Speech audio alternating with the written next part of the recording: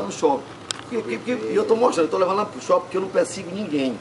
Que é sobre comércio, é sobre venda, é sobre Olha, oportunidades. Olha, minha filha, Então, vai. aí nós estamos convidando, é de graça, ainda tem certificado. Nós estamos convidando, Verdade. porque é cara a palestra. Então, a prefeitura está trazendo, eu estou dando de presente para todo mundo que quiser. É 19 horas lá no shopping, não precisa pagar nada e ainda vai sair com certificado.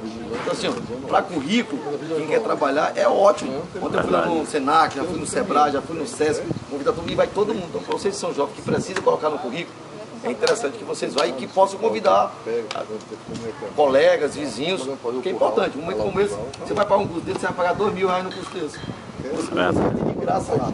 Imagina, é importante para todo mundo. Tá aí o prefeito Fábio Gentil convidando a comunidade aqui do- da rua Porto da Pólvora também para assistir aí a palestra do Ciro Bottini.